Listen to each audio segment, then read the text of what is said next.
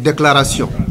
Suite à une élection présidentielle conduite de manière unilatérale par un pouvoir décidé d'empêcher par tous les moyens toute alternance démocratique avec la complicité d'une CENI alignée et d'un Conseil constitutionnel manifestement peu disposé à exercer de manière équitable sa compétence de jugement.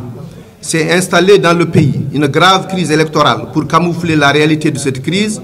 Le pouvoir a déclenché une vague de répression sans précédent, se traduisant notamment par des arrestations massives, des enlèvements et la suspension des libertés publiques comme l'interruption d'Internet, l'interdiction de manifestations et la fermeture des sièges des candidats, etc. Dans ce cadre, il n'hésita pas à tenter de créer un climat de division de nos populations en lutte contre le hold-up électoral sur des bases ethniques et raciales.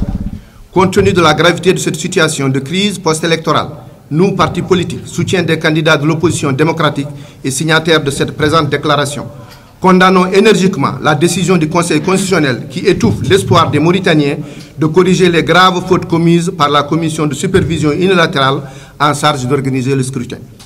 Rejetons les résultats de ces élections frauduleuses et contraires à la volonté de l'électeur mauritanien, tel qu'exprimé clairement par son engouement lors de la campagne électorale. Déclarons notre volonté de contribuer à tout effort susceptible de sortir le pays de la crise actuelle provoquée par le régime. Nouakchott, le 4 juillet 2019, parti signataire, la JDMR, Al-Mustakbal, Arc-en-Ciel, FPC, FRUD, MPR, Parti du changement mauritanien, Plège, RFD, Tawassoul, UFP, UNAD, UNDD, Union pour le dialogue entre les communautés de Mauritanie, DECALEM et SAWAB.